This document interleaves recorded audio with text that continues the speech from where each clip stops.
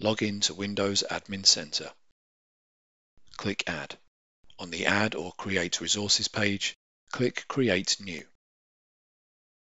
Select Azure Stack HCI and click Create.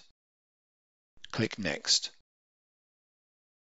Specify the administrator account to be used when connecting to the server. Enter the computer name and the IP address or domain name of each server. Click Add. A standard Azure Stack HCI cluster requires a minimum of two servers. Click Next. Click Next. On the Install Required Features page, click Next.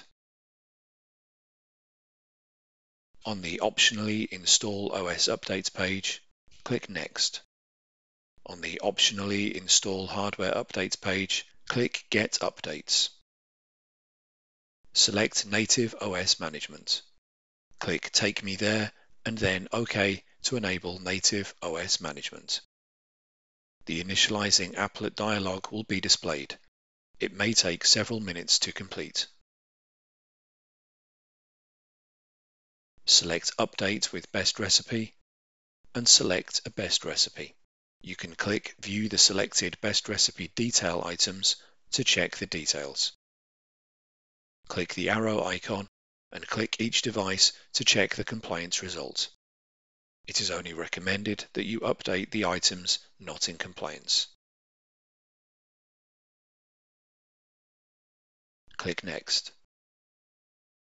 Expand the Preview panel to remove any items you do not want to update. Click Next. Select the update packages for items that have not been downloaded. Click Download. When complete, click Next. Select the two servers and click Run As enter the OS login credentials.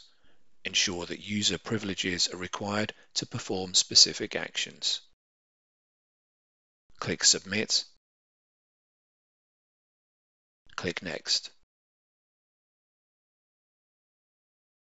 Click Submit and then Yes to submit the job for a system update.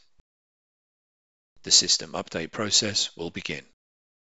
You can click the arrow icon to check the status of each server update. When the update process is complete, click Next. You may continue with other deployments for the cluster.